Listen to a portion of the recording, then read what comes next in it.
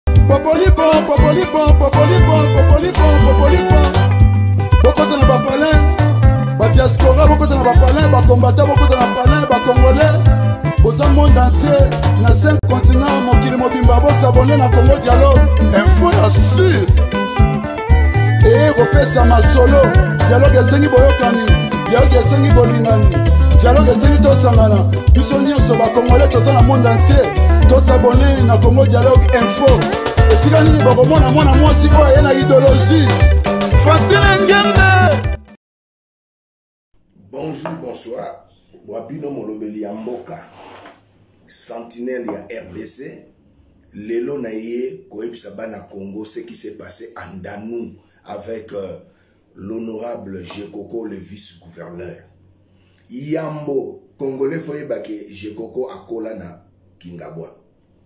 plus de 20 ans il a assisté les mamans veuves il a assisté baorphelin asali baœuvre ebele wana kutu élection eza te aotambola partout monsieur jekoko gérard mulumba ke je sali eloko moko mabe esalami te je ne vais pas citer le nom Mais ce PG, procureur général, il y a un candidat à intoxiquer mpe azwi bakuluna ayebisi bango moto moko te akota na ndanu asala baélection na ye na bapièce à conviction premier jour l'honorable jekokwa mulumba aye akoti na ndanu baatake ye azongi deuxième jour banotable ya ndanu babengisi ye yaka esi tokalme bagene koya azali koya ye aza nanu na poids lourd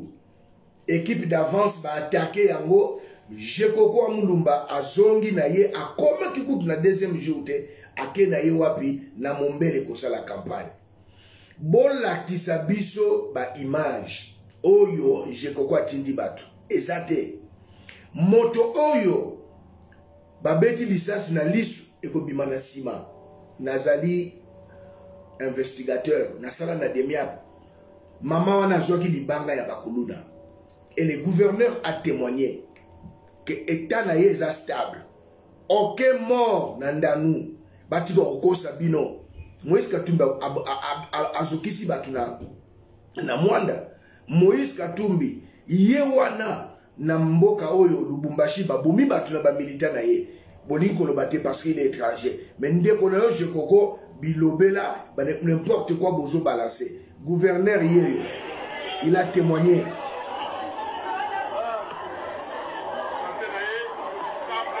table.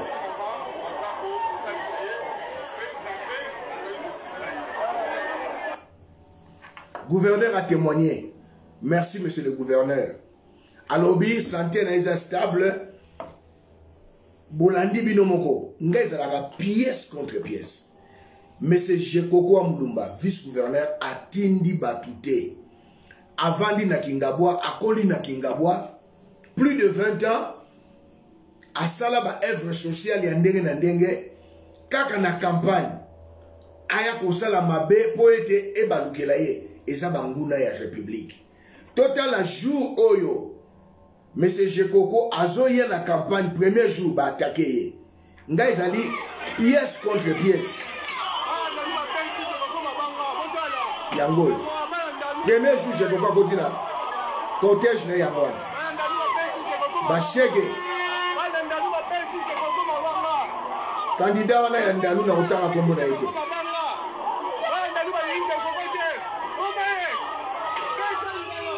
bolandi bino moko bana ndanu babambi mabanga eza infraction boza banani bopekisa candidat aya kosala deuxième jour bana ndanu botala likambo basali lisusu tini babombaka verité te nde bozomona video oyo yango wana excellence jekoko mulumba azokita mpo na campagne ye na ndanu ndenge bana ya ndanu basalaki ya groupement na bango ya bakuna bozomona bango basege na bamachete na bana mike ya 8 ans bavotaka te baza na bamachete baosa ya bakuluna oyo ezalaki bakoma meme na motuka oyo jehovah azalaki babamba mabanga basala basabotage tellement bango bazalaki epai nde bandaki kodefendre mpona kokimi donc naza na bapreuve lakisi bino belema misato affaire chez koko botika baintoxication botika bamanipulation eyai oke mort andanu moïse katumbi abomisi bato na lubumbashi ba video eza alors botika ndeko jekoko bandeko na ngai bovote jekoko molelo ezali jour j 2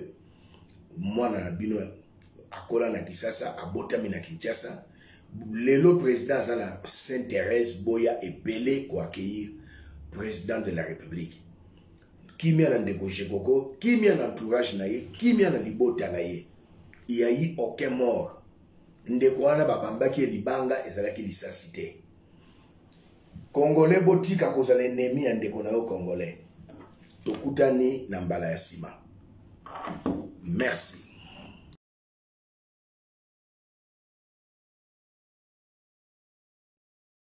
Bonjour, bonsoir. Wabino molobeli ya mboka, sentinelle ya RDC, lelo na ye koyebisa bana Congo ce qui s'est passé à Ndanou avec euh, l'honorable Jekoko, le vice-gouverneur. Yambo, Congolais foyeba ke Jekoko akola na Kingabwa. plus de 20 ans il a assisté les mamans veuves il a assisté baorphelin asali baœuvre ebele wana kutu élection eza te aotambola partout monsieur jekoko gérard mulumba ke je sali eloko moko mabe esalami te je ne vais pas citer le nom Mais ce PG, procureur général, il y a un candidat à intoxiquer mpe azwi bakuluna ayebisi bango moto moko te akota na ndanu asala baélection na ye na bapièce à conviction premier jour l'honorable jekokwa mulumba aye akoti na ndanu baatake ye azongi deuxième jour ba notable ya ndanu babengisi ye yaka esi tokalme bagene koya azali koya ye aza nanu na poids lourd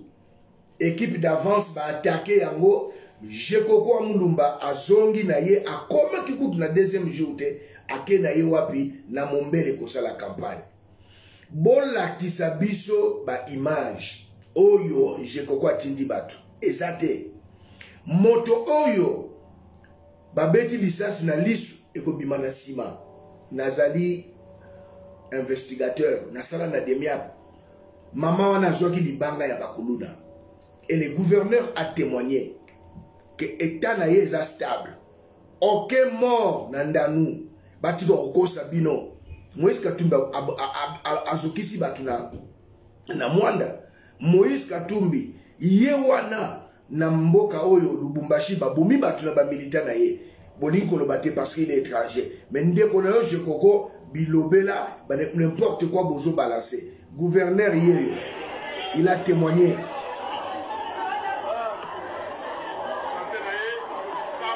stable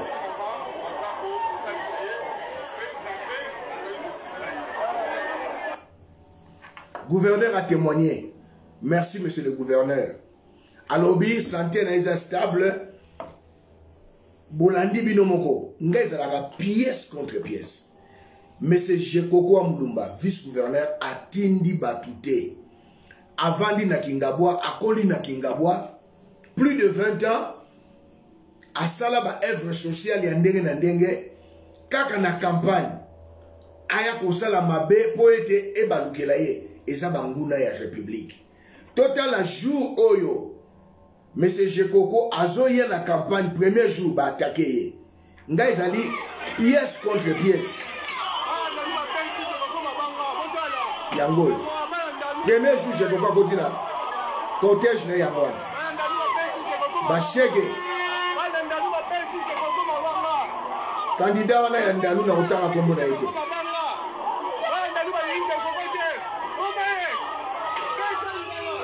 bolandi bino moko bana ndanu babambi mabanga eza infraction boza banani bopekisa candidat aya kosala deuxième jour bana ndanu botala likambo basali lisusu tini babombaka verité te nde bozomona video oyo yango wana excellence jekoko mulumba azokita mpo na campagne ye na ndanu ndenge bana ya ndanu basalaki ya groupement na bango ya bakuna bozomona bango bashege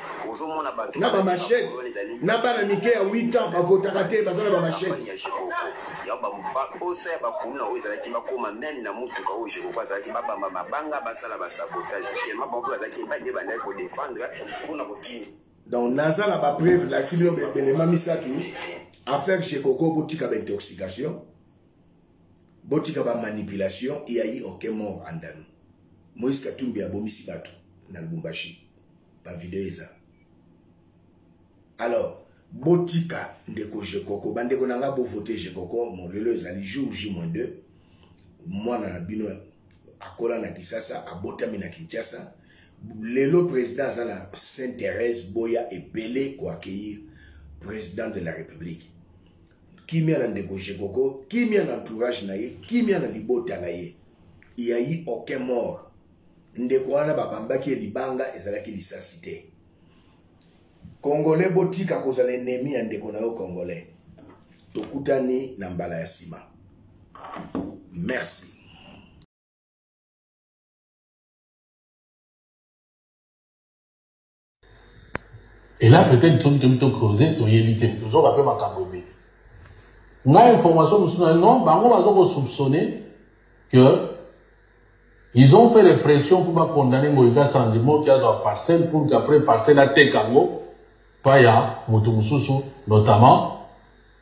Denise Nyakei. Comment yo nyangalakata pa pamba bo okoya kote mo bandoloba. Est-ce yo yebi nga yo?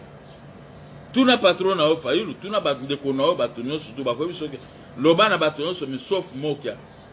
Mokia azaki patron et il est toujours patron. Hein? Bongo soki ngai na vivre bien mais yo okende okota ti okende oloba na mwasi ya bato yo oza kotere baluba mpo nani baluba basali bino nini bangala togere 32 ans Ba, ba Congo ba zere 5 ans. Euh, ba Swahili ba zere soki 20 21 ans. Ba sikoyo baluba bazui pouvoir. Okotika baluba te ba vivre. namoni mpe ata moluba moko te abotola moto eloko obe moluba moko amenase bato ake baluba so bazwi pouvoir basali eloko baluba baza calme mais ils ont droit de se défendre contre bino babandi contrairement ndenge tobandaki kobanga baluba mais baluba iso ako plus calme et civilisé que vous autres Les Baluba n'insultent pas les gens, ils protègent leur pouvoir, mais bazo ko protéger bato nyonso tu, ils nomment bato nyonso tu, mais bao finga bango. Oso moni Baluba bao menacer bato, mais yo ozalaka contre mwasi ya Baluba mpo na nini? Mwasi ya Baluba asali yo nini? Hein?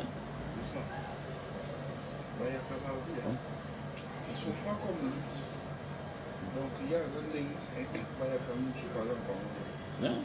Heureusement que toyoki ba information bayaka bazoloba non ils sont pas comme euh, euh, euh comme toi baza différent na yo bayaka civilisé bazali hein? les hommes bien les hommes posés baza na bainjure na monoko te lokola yo motema mabe yango wana baemission nyonso olingi kaka kolobela bato mabe me yango kindoki yango ifo yawa tosambela na bangunza yeah?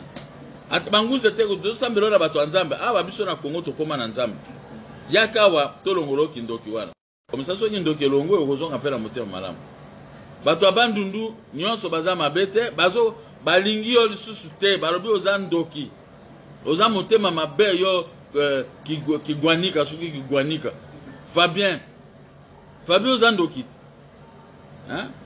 omoni soki moto aovanda kaka kofingaka bato seke makambo asaka na butu wana na moi sikoyo donc ozomona azolakisa yango donc biso sikoyo tomoni yo yo yo ana kindoki no okonosala felix eloni felix akokanga yo meme na poto so alinga kanga yo kuna akocree yo problème bomi ature kuna balwa tusa yaka osala lwawa okitika na aéroport ngai nde nakoya ntina ye nazwi yo nazwi yo mpo kozwa ngondo mpenza ya bien bien motunu wana nazo panza yango oza voyou Yo oza kotele baluba mpo na nini? Oso omoni moluba moko abimi abotoli moto eloko mpe abeti moto? Baluba baza na bango calme. Tika ba gérer 5 ans na bango. Soki bakosala 10 ans, tika bango. Biso tosalaki 32 ans na pouvoir. Mais nous, nga kutu mobi.